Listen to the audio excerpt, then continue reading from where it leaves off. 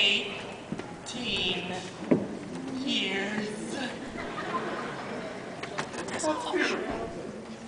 Excuse me. Oh, I know it's the last secret. Sir, I really must insist that you. Chuck it, man, just chuck it.